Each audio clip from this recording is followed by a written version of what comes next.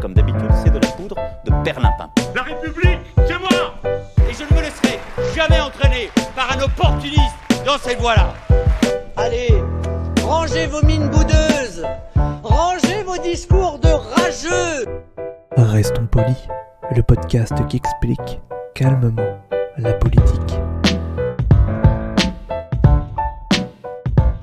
Bonjour à toutes et à tous et bienvenue dans Restons Polis, le podcast qui vous explique tranquillement la politique. Je m'appelle Adrien Bibard et toutes les semaines avec mon comparse Nemo, nous allons revoir ensemble les bases de ce que c'est la politique, loin de des petites phrases et des petits dramas qu'on aura oubliés demain. Nemo, bonjour. Bonjour. J'espère que tu vas bien. Ah, je suis toujours dans un superbe fauteuil. C'est incroyable. Toutes les semaines, on se retrouve dans ces beaux fauteuils. Ah ouais, ouais, non, mais j'ai l'impression d'être éditorialiste au Figaro tellement j'ai un beau fauteuil. Oh là, oh là, oh là. Alors, ne, ne, ne va pas, euh, ne va pas tout de suite euh, dire des choses, ne pas contredire ce que tu as dit la semaine dernière, euh, parce que Figaro, c'est quand même plutôt à droite, a priori. Ah oui, oui, non, mais j'ai juste j'ai l'impression. En fait, j'ai toujours imaginé les éditorialistes du Figaro comme ça, dans des beaux fauteuils, en train de disserter sur les pauvres. Très bien. Eh ben, euh, est-ce que tu peux nous dire de quoi on va parler aujourd'hui? Eh bien, de la gauche et de la droite, c'est une notion que beaucoup de gens ont peut-être un peu de mal à appréhender, que beaucoup détestent et que peu embrassent, on va, on va dire. Et euh, on, on va essayer de revenir à la base parce que quand on écoute de la politique alors qu'on n'y connaît rien, c'est probablement la première notion qu'on se prend dans la gueule. Et, euh, eh ben, il faut revenir un petit peu à ça, il faut essayer d'expliquer ce que c'est, pourquoi ça a autant de sens, pourquoi ça n'en a pas dans beaucoup de, dans beaucoup de cas, mais pourquoi malgré tout on y revient encore et toujours, ne serait-ce que pour le détester, voire même pour l'haïr. Alors, pour commencer, euh, gros gros sujet, euh, c'est quoi la gauche pour toi? Alors, pour moi, la gauche, je suis très mauvais en histoire. Déjà, je vais le dire, je ne vais pas essayer de faire des références historiques parce que je probablement euh, je me planterais, mais comme j'ai été à l'école, on m'a appris la gauche, c'est ceux qui étaient à gauche dans l'Assemblée, c'est-à-dire qui étaient contre la royauté, la monarchie, etc. En réalité, on va, on va prendre maintenant une définition de maintenant. On va dire que la gauche représente une, une sorte de progressisme, euh, de contestation euh, de l'économie individualiste, euh, voire capitaliste. Mais ça, c'est une certaine gauche. La gauche en elle-même, si on devait vraiment trouver un point commun, le mini point commun qu'on pourrait trouver entre tous, c'est euh, vraiment le progressisme. Je pense que c'est une notion qui, est pas mal, qui se met un peu en contradiction, enfin en, en- en opposition avec la droite qui serait un peu conservatrice, voire euh, réactionnaire. Et je pense que la gauche, euh, c'est vraiment l'ambition de faire progresser la société ensemble, là où la droite euh, est un peu plus en mode, bon, faisons attention à ce qu'on fait, et euh, l'ensemble c'est bien, mais l'individu compte quand même beaucoup. Alors, c'est intéressant parce que pour ma part, j'aurais un petit peu, comment dire, euh, nuancé ce- ce- cette Ah bah, définition. J'ai essayé de faire du gros. Hein. Ah oui, oui, mais c'est, intéressant parce qu'on voit bien que euh, sur le plan économique, dans, le- dans le Mm. sens de comment on facilite les, les échanges monétaires principalement, euh, social ou voire même sociétal, il y a des petites nuances, on voit bien sur la droite et de gauche. Par exemple, dans le premier épisode que je vous invite à réécouter évidemment, j'ai parlé de keynésianisme.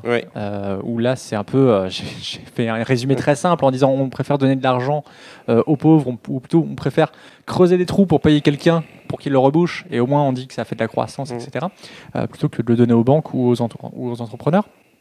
Euh, c'est des choses qui sont très compliquées, ce qui m'amène à, à la question, bah, pour le paysage actuel qu'on a, euh, c'est quoi la différence entre une Martine Aubry, par exemple, à la maire de Lille, Jean-Luc Mélenchon euh, de la France Insoumise, euh, Philippe Poutou du nouveau parti euh, anticapitaliste, euh, ou Nathalie Arthaud, qui est un peu moins connue, Oui, de, euh, Force ouvrière. Force ouvrière. J'allais dire Front, Front ouvrière, mais non.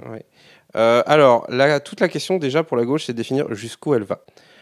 Mais par exemple, si on prend Martine Aubry, il y a, je pense, de nombreuses personnes à gauche qui seraient incapables de la mettre dans euh, la case gauche. Ça a d'ailleurs été, pendant le mandat de François Hollande, toute la question. Est-ce que, jusqu'à quel point on tolère la politique de François Hollande comme étant de gauche? Et c'est justement cette, zone un peu floue que représente le PS et dont Martine Aubry n'a jamais vraiment sorti.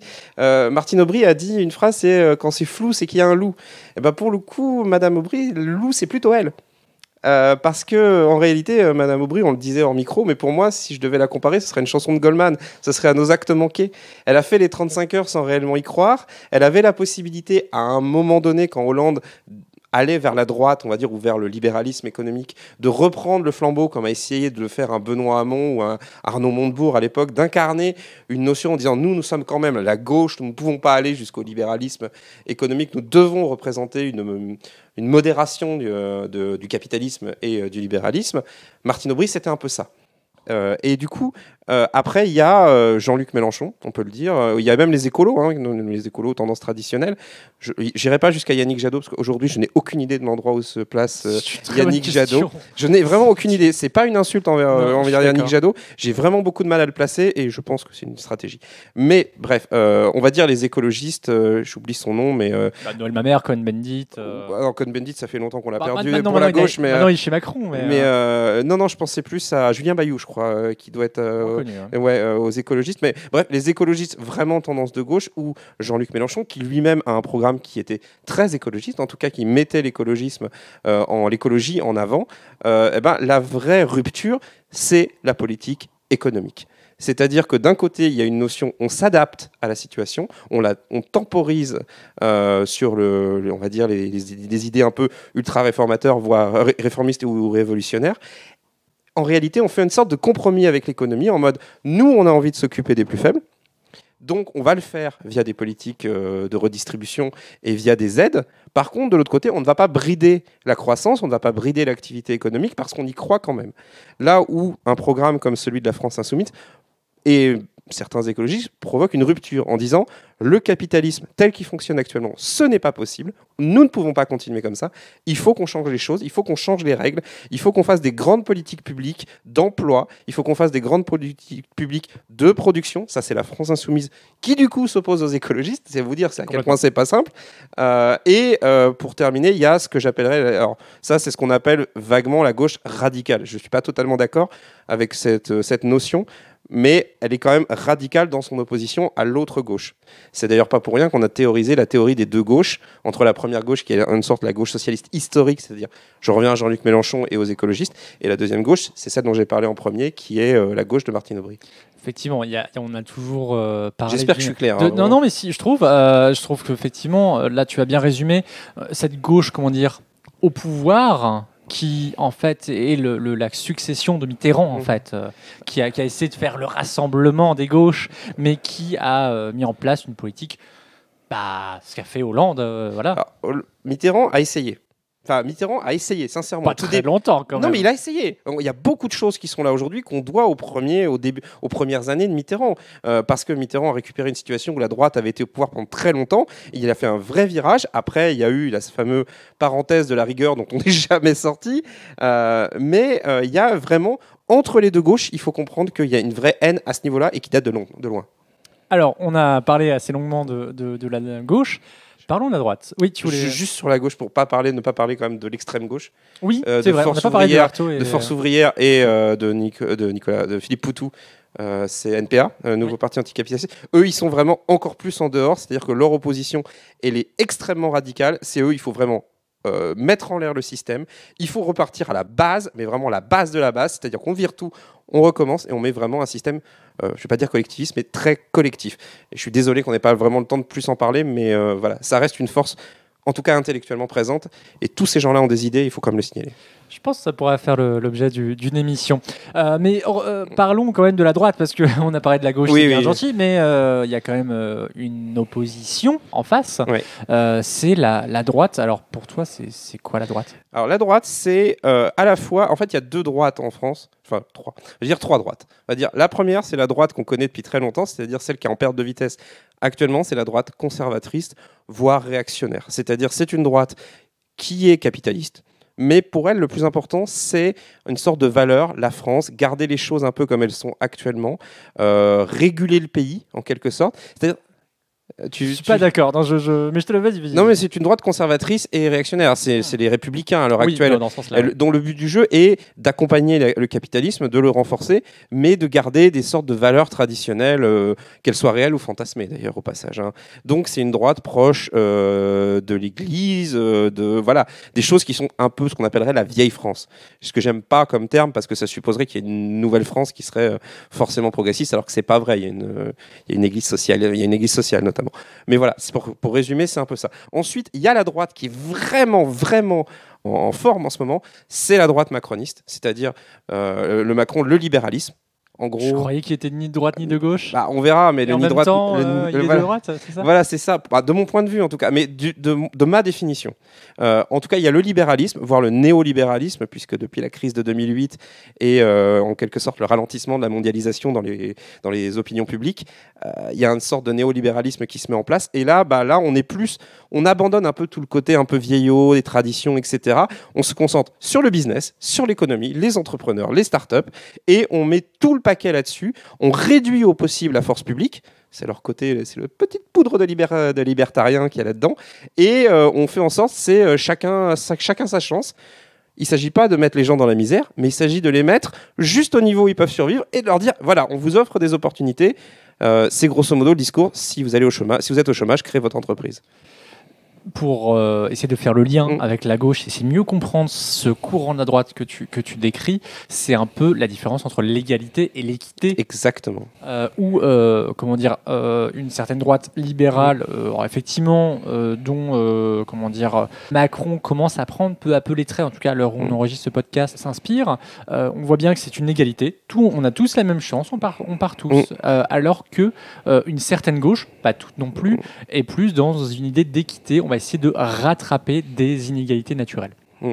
On- on- tu as parlé euh, donc de, de différentes droites. il reste donc- l'extrême droite. Voilà, je te laisse justement. euh, Euh, bah, il reste l'extrême droite qui aujourd'hui est le Rassemblement national, ex-Front national, représenté par la famille Le Pen depuis, euh, depuis je ne sais plus quand. Il y a, il y a- il y a- comment il s'appelle euh, Philippot aussi. Philippot, oui aussi, mais Dupont-Aignan aussi. oui ou Dupont-Aignan, mais c'est- je veux pas leur manquer de respect. hein. Cheminade. Je- ouais, alors je suis pareil, je ne voudrais pas leur manquer de respect du coup, mais ce sont des courants minoritaires, honnêtement. Euh, Dupont-Aignan peut crier tout ce qu'il veut à la télé ou Philippot aussi. Aujourd'hui, celle qui fait la loi, c'est la famille Le Pen. Et ce, depuis très longtemps. Ils ont été contestés. Il y a eu Maigret, il y a des années de ça, où, qui faisait un clip fantastique où il y avait de la, musique. euh, ancien, euh, ancien, responsable. candidat, voilà, ancien responsable euh, du Front National qui a tenté une candidature à la présidentielle contre Le Pen et qui s'est ramassé, euh, qui avait fait un clip absolument fantastique où il y avait de la musique arabe qui passait et il appuyait pour éteindre la radio. Ça résume beaucoup de choses. On a beaucoup résumé le, le Rassemblement National au racisme, etc. En réalité, le Rassemblement National, c'est un gloubi-boulga de n'importe quoi. hein. Enfin, de n'importe quoi. C'est un gloubi-boulga de plein d'idées différentes. Le Pen disait lui-même Je suis socialement de gauche, euh, enfin, je sais plus, je suis socialement de gauche, économiquement de droite et nationalement de France. Mais voilà, c'est très compliqué. Le Front National, il mériterait une émission complète. On arrive à 12 minutes, donc c'est pour ça que Ouh je te. Eh oui, oui. Je suis Euh, désolé pour vraiment ceux qui sont à l'habitude. J'ai vraiment essayé de faire au plus simple et je suis désolé des caricatures que ça a pu donner. Mais c'est aussi, en tout cas, c'est une introduction et on vous invite peut-être à écouter euh, à gauche toute pour approfondir certains sujets. Merci. Mais alors du coup, on, a parlé de la droite et de la gauche. Comment situer le centre? Le centre. il y, a, il y a Bayrou, historiquement, Alors, qui représente le centre. Il Giscard d'Estaing. très- Aujourd'hui, c'est la deuxième droite dont j'ai parlé clairement. Euh, la- la- le centre était censé être un mix des deux, du centre gauche, du centre droit. Aujourd'hui, ce qui les met tous d'accord, c'est le capitalisme, c'est l'entrepreneuriat et une certaine façon de dire ok, on est de droite sur ce côté-là, mais du coup, sur certains aspects soci- sociétaux, on va quand même essayer d'être progressiste. Euh, en réalité, le centre, aujourd'hui, il est en train de se créer en France. Il prend le pouvoir. Il a pris le pouvoir en 2017. Ce qu'il a essayé de faire pendant des années et des années, là, ils ont une fenêtre de 5 ans. Et on est en train de voir exactement ce que c'est que le centre. Pour moi, à l'heure actuelle, ça reste une autre forme de droite. Enfin, une deuxième forme, la deuxième forme de droite dont j'ai parlé. Et je ne pense pas leur faire insulte en leur disant que, euh, malgré tout, ça n'empêche pas certaines de ces personnes qui sont à l'intérieur de porter, sur certains points, des valeurs qui sont plus à gauche. Mais c'est toute la complexité de cette notion, euh, de ces notions fourre-tout. Effectivement, la fameuse phrase euh, ni de gauche ni de, enfin non, euh, Ni de pas gauche, ni de droite. mais de droite du coup. Voilà. Euh, ce qui était quand même, ce qui faisait très Front National la première fois que je l'ai entendu hein, quand même, hein. puisque le Front National est de gauche au nord et de droite au sud. Alors, on, vu que la, enfin, vu que Macron a quand même balayé euh, le- le- la gauche et la droite aux dernières élections Mm. euh, et se retrouve face au Front National, euh, est-ce que la gauche et la droite, cette question-là, en fait, elle n'est pas finie? C'est en fait pour une raison très simple, c'est que les notions de gauche et de droite ne sont pas des questions de personnes, ce sont des questions d'idées. Et les idées sont jamais mortes. Elles sont majoritaires, minoritaires, écrasées, dominantes, mais elles ne sont jamais mortes. Et ces idées de gauche ou de droite, à un moment donné, quand vous vous trouvez face à une question, face à un projet de loi, face à quoi, vous êtes pour ou vous êtes contre. Et derrière ce pour et derrière ce contre, il y a toute une histoire. Et vous pouvez être en désaccord fondamental avec quelqu'un du même camp que vous. Vous appartenez quand même à l'histoire de ce camp. Et il n'y a ni de honte, ni d'être de droite, ni d'être de gauche, tant que vous partagez les valeurs humaines fondamentales qui nécessitent une politique. Je vais squeezer mes dernières questions que j'avais en, en stock euh, pour en poser une parce que ce que tu viens de dire est très intéressant. C'est alors du coup que penser des, des traîtres entre guillemets dans la politique, des gens qui passent par exemple ce, euh, ce responsable de la France insoumise qui est passé au Front National? Euh, c'est une certaine logique en, en quelque sorte, parce que la France insoumise navigue en- parfois en certaines eaux qui sont un peu troubles, donc elle attire des profils qui sont des profils qui sont en résistance par rapport à ce qu'ils voient comme un système. Et il n'y a rien de plus simple que de basculer d'un camp résistant à un autre camp qui se prétend résistant. Et du coup, euh, ces gens-là, en fait, ne naviguent pas, j'insiste là-dessus, en fait, ils ne naviguent pas sur des idées, ils naviguent sur des faits, c'est-à-dire sur ce qu'ils voient, sur ce qu'ils interprètent de ces faits, mais ils ne naviguent pas sur des idées politiques. À noter, et je termine là-dessus, que c'est aussi un problème actuellement pour la République en marche, qui navigue beaucoup sur des réformes et non pas sur des idées politiques, d'où le fait euh, qu'ils aient une très courte vision politique, purement politique. Or, la politique, c'est ce qui définit ces, notions de gauche et de droite. C'est ta vision. Oui, c'est ma vision. Euh, après, il a quand même plutôt euh, suivi son programme pour l'instant. Ah non, ça veut rien dire. hein, pour- ça ne, ne, ne- ne pas avoir de vision politique, ça ne veut pas dire ne pas suivre un programme. Un programme, ce sont des réformes. Les idées politiques, c'est une sorte de flow. C'est toute la différence entre des paroles de rap et la façon dont tu les chantes. Très très belle métaphore. Et c'est sur ces mots qu'on va conclure ce deuxième épisode de Restons Polis, le podcast qui vous explique calmement, tranquillement la politique. en tu en essayes. Euh, on espère qu'il vous aura plu. C'est le deuxième épisode, donc on est encore en rodage, hein, pour vous tout vous dire. Euh, comme on a pu le dire, euh, c'est une introduction au sujet. En 15 minutes, vous vous rendez compte qu'on ne peut pas tout faire. On espère vous revoir la semaine prochaine pour un nouvel épisode de Restons Polis. En attendant, Nemo, où est-ce qu'on te retrouve? On me retrouve dans le podcast À gauche toute, Canapé Game et les pires rennais en trois mots. Et moi, on me retrouve dans le podcast Ludologie. Et pour paraph- paraphraser Éluard, je vais y arriver pour la fin. Que vous votiez ou non, il faut toujours abuser de sa liberté. À la semaine prochaine.